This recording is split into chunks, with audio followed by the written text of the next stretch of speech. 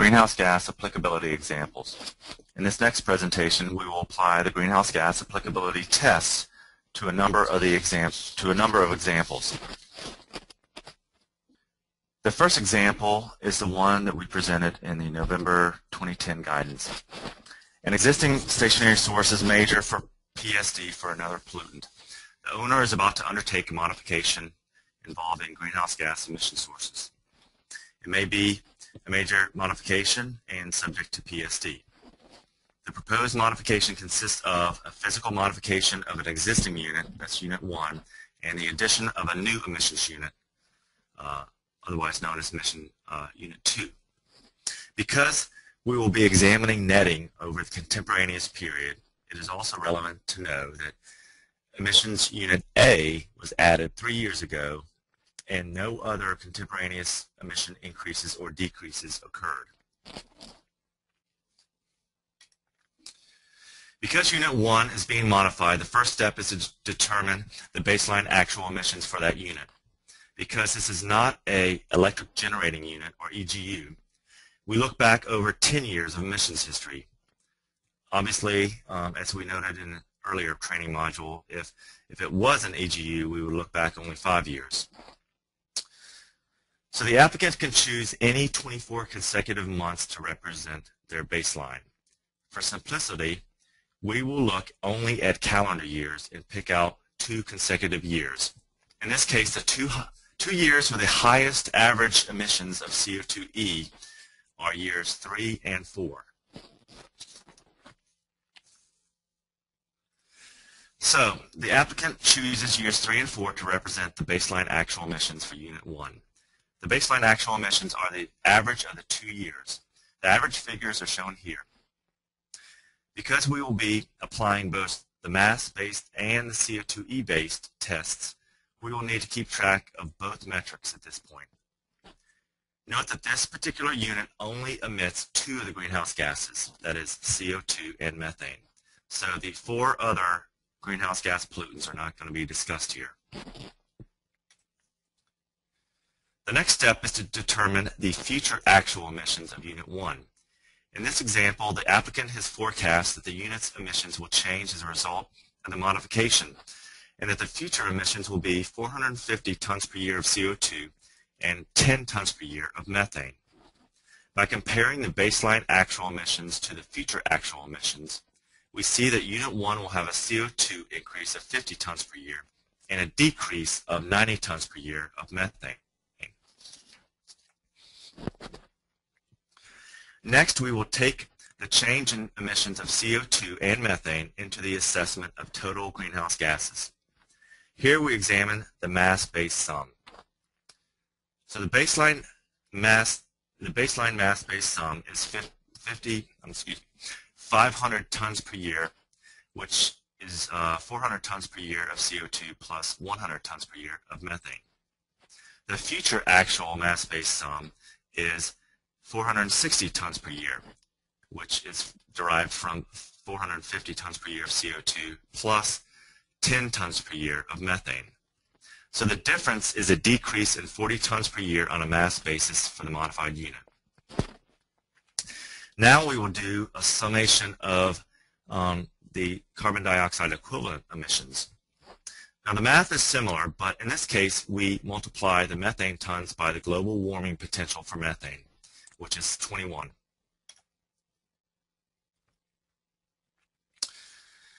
The higher methane in the baseline emissions, um, with higher methane in the baseline emissions, the baseline CO2e is much greater.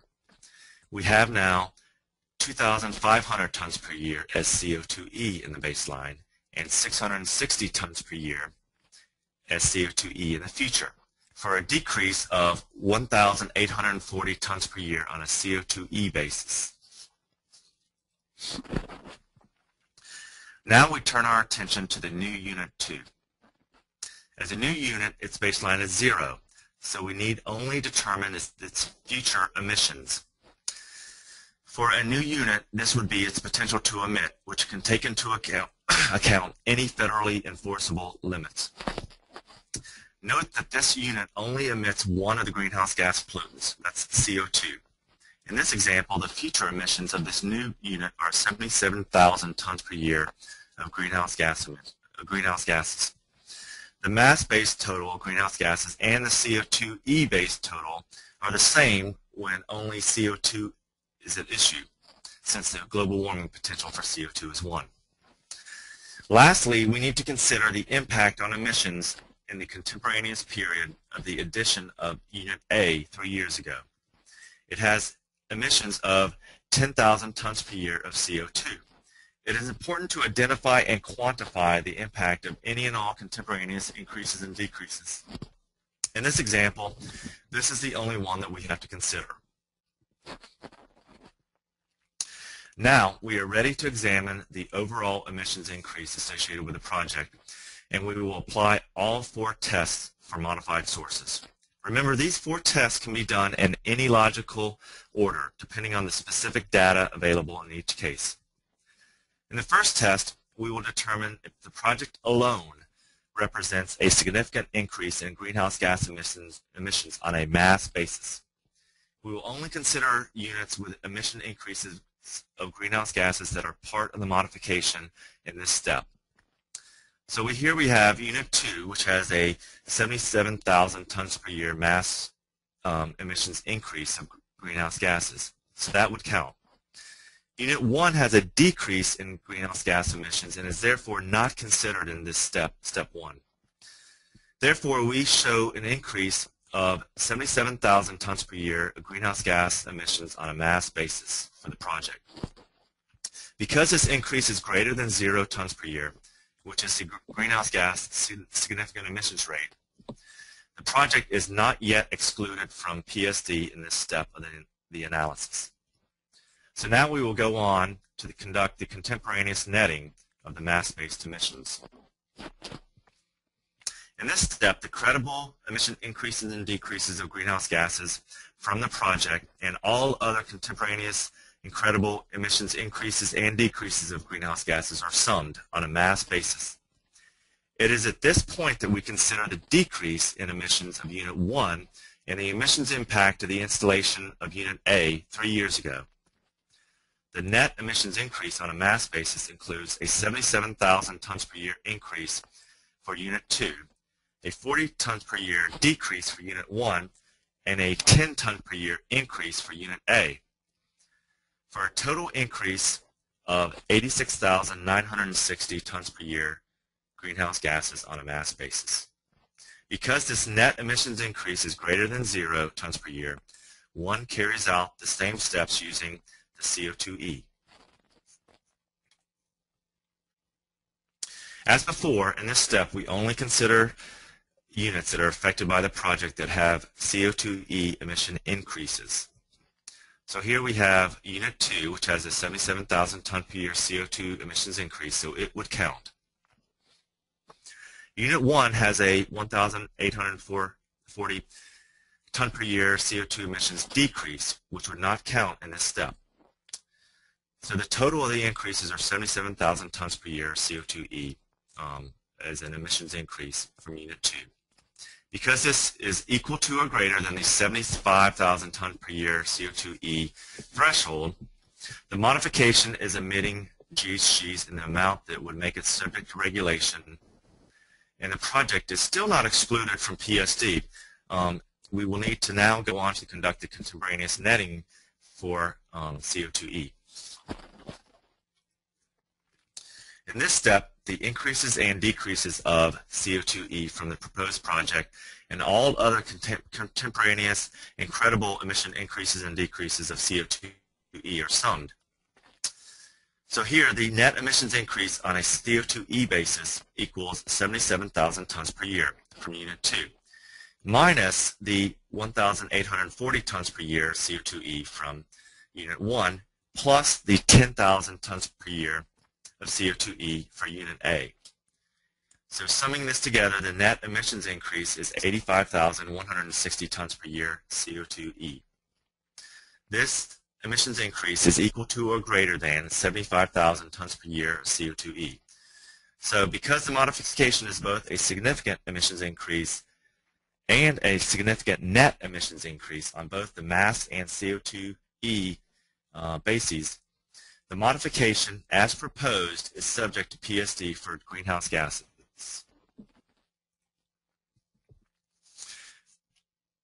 Now, as we noted before, there are um, opportunities where an applicant, um, if they think that they're going to trigger PSD, um, may want to consider alternatives in order to avoid PSD. So if the applicant wishes to legally avoid PSD for this project, for the proposed project, there are a number of steps that can be taken. The applicant can take enforceable limits to reduce the net emissions increase below the threshold in any one of the four tests. In this instance, the simplest approach would be to agree to take a limit on Unit 2, um, on Unit 2 CO2e that would be below the 75,000 tons per year. In this instance, the project increase would be less than 75,000 tons per year CO2e, and, and the contemporaneous increases and decreases would then therefore not need to be considered.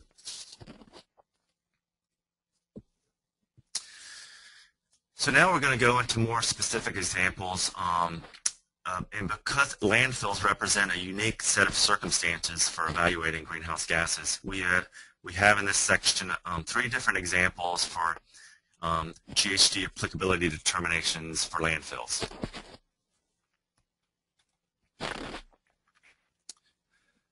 All right, in our first example, uh, we have a company X1, which is planning to construct construct an entirely new municipal solid waste landfill um, in 2012 with a capacity of 2.2 um, million megagrams. This landfill will be la located in an attainment area for all regulated NSR pollutants. The lifespan of landfill A is expected to be 30 years. The first step is to determine the potential to emit for the landfill.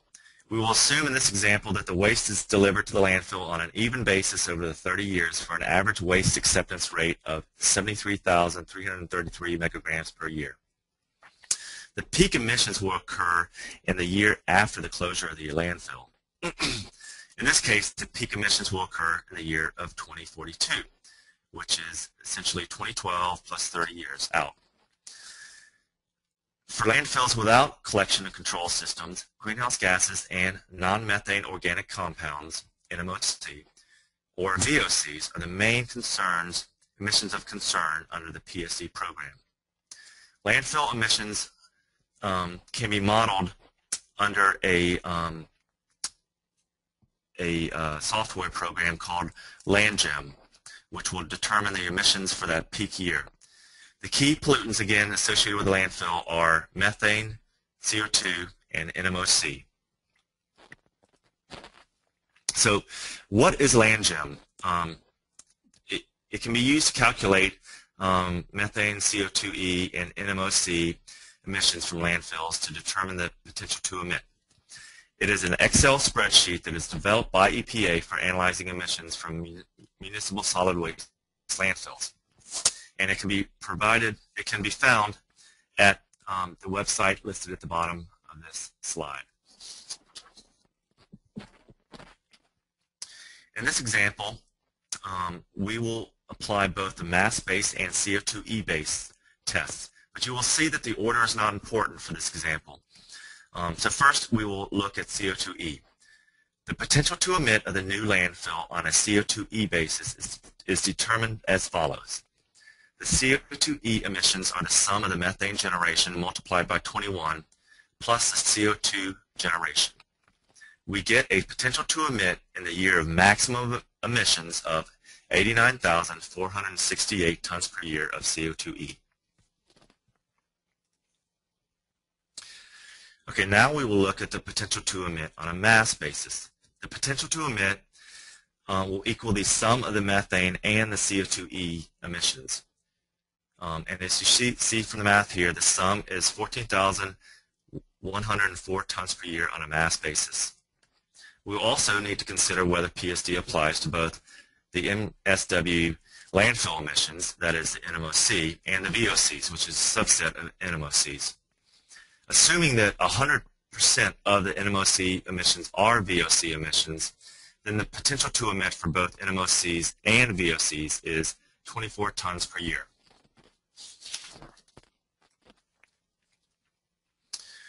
Okay, now we're in a position to determine whether this new landfill will trigger PSD. Um, and here we show the emissions that we just came up with, and, and we compare these emissions to the new source um, applicable thresholds.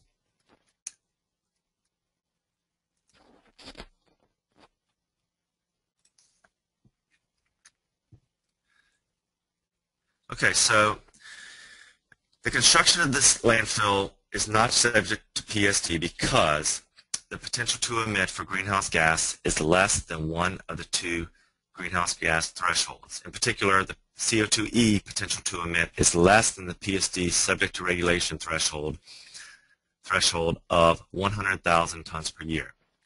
And also, um, it's not subject to PSD because the potential to emit of NMOCs and VOCs is less than the major source threshold of 250 tons per year. Okay, here we have a second example. Ex company X2 is planning to construct an entirely new municipal solid waste landfill.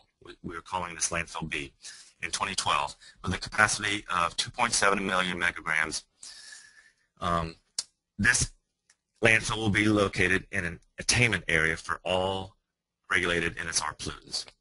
And again, the lifespan, lifespan of this landfill is expected to be 30 years. We will determine, excuse me, determine the potential to emit of the new landfill, assuming a waste acceptance rate which is evenly distributed over the 30-year lifetime. The resulting waste acceptance rate in this case is 90,000 tons per year, or megagrams per year. The peak emissions will occur in the year after the closure of the landfill, which is 2042. For landfills without collection and control systems, greenhouse gases and NMOC are the main emission concerns under the PSD program. So in this case, the LandGEM results for 2042 are, for methane, 4,625 tons per year. For CO2, 12,689 tons per year and NMOC um, compounds uh, would result in emissions of 30 tons per year.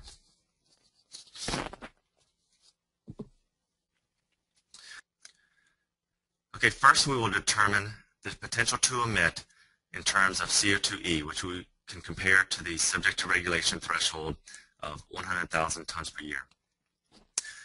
So the potential to emit is the sum of the methane emissions times the global warming potential for methane which is 21, plus the CO2 emissions.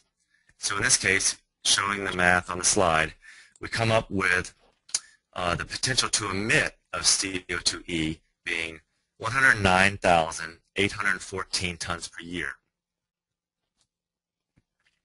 Next, we would examine the greenhouse gas emissions on a mass basis. Showing the math on the slide here, um, we come up with a sum of 17,314 tons per year. We also need to consider whether PSD applies to both municipal solid waste landfill emissions, that is NMOCs, and VOCs, which is a subject which would be a subset of the NMOCs.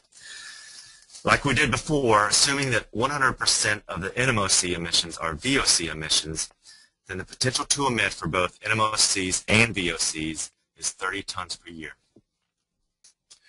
Okay, in this slide, um, again, we're ready to compare the emissions to the applicable um, thresholds, both major source thresholds and the subject to regulation thresholds, um, as well as the significant emissions rate. Um, and I'll just let the um, let the slide speak for itself. Okay, so because the potential to emit of greenhouse gas on a mass basis is greater than 250 tons per year, and on a CO2e basis is greater than 100,000 tons per year, landfill B is considered a PSD major source, and this construction project is subject to PSD.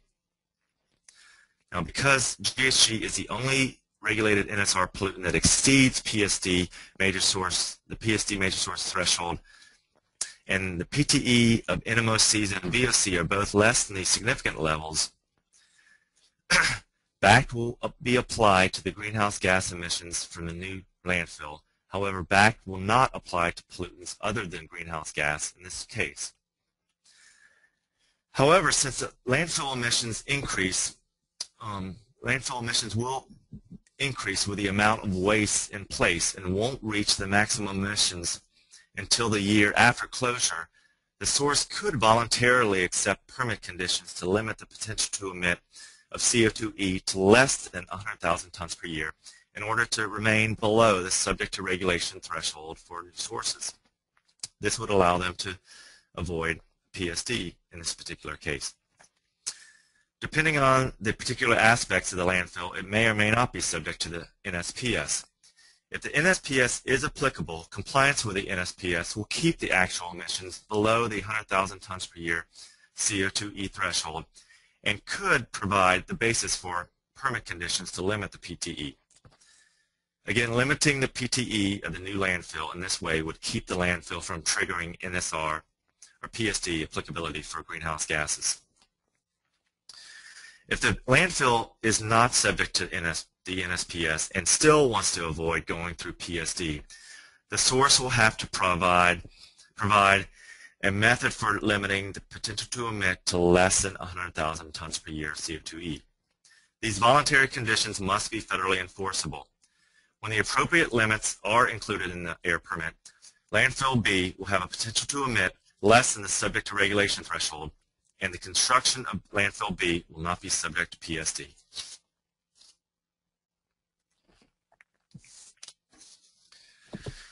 Okay, our third and final example involves the expansion of an existing landfill. Company X3 owns an existing MSW landfill with a maximum capacity of 2 million megagrams um, that was opened back in 1985. There's no landfill gas collection and control system that's installed within, within the existing landfill. The existing landfill is expected to close in 2015, and Company X3 is planning to add a new municipal solid waste landfill cell in 2012 with a capacity of 3 million megagrams next to the original landfill site.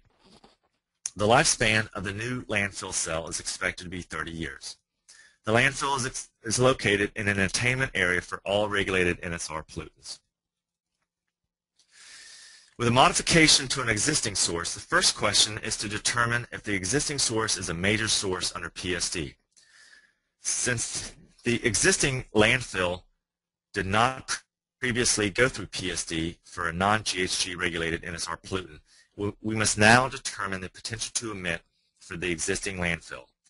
In this example, we will assume a waste acceptance rate is evenly distributed um, over the 30-year lifetime. This results in a waste acceptance rate of 66,667 megagrams per year. Our first step is to determine if the greenhouse gas emissions from the, from the existing landfill exceed the subject to regulation threshold for the existing source. For modifications to existing sources, the determination of whether a source is subject to regulation includes whether the existing source has GHG emissions that are equal to or greater than 100,000 tons per year of CO2e and um, 250 tons per year on a mass basis. Both thresholds must be exceeded for the source to be a major source for greenhouse gases. We must also determine whether it has a NMOC or VOC emissions that are at or above the major source threshold of 250 tons per year. Since the potential to emit of the existing landfill is less than the PSD subject to regulation threshold, of, um, which would be 100,000 tons per year, of CO2e, and it's also less than the PSD major source threshold of 250 tons per year for both NMOC and VOC. The existing major source is not major. The, excuse me, the existing source is not major. However, the construction of the new landfill cell itself could trigger PSD applicability if the modification is major on its own. So with that context, we must determine if the new source is a major source, if the new cell is a major source. Using LandGEM and the specification of the new cell, the greenhouse gas and the NMOC VOC emissions are determined in the same manner as the existing facility was evaluated. And we show these results of the LandGEM runs um, in this table.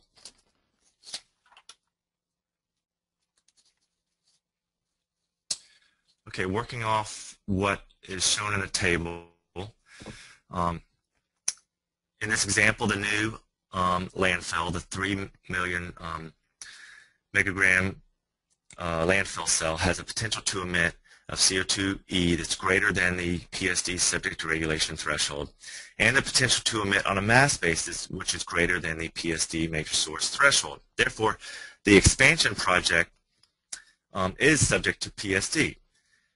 The NMOC and VOC emissions, however, are less than the major source threshold and their respective significance thresholds as well. So the NMOC and VOCs are not covered by PSD review. BACT will be required for the greenhouse gas emissions only.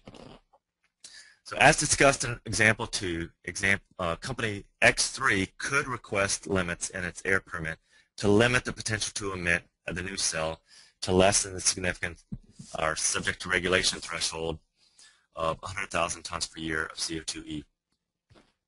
Alternatively, a limit could be applied to the whole site, including the existing and new portions of the landfill, to keep the potential to emit less than the subject to regulation threshold. In considering these commitments and limitations, the source would want to consider the applicability of the NSPS and the timing of controls to determine the appropriate limit. If the potential to emit of the expansion is kept below 100,000 tons per year on a CO2e basis, PSD would not apply to this expansion project. However, it should be noted that in the future, it is quite likely that the existing potential to emit of the landfill will exceed 100,000 tons per year, and future modifications may not need to be major in and of themselves. And this concludes the training module um, regarding the GHG applicability examples.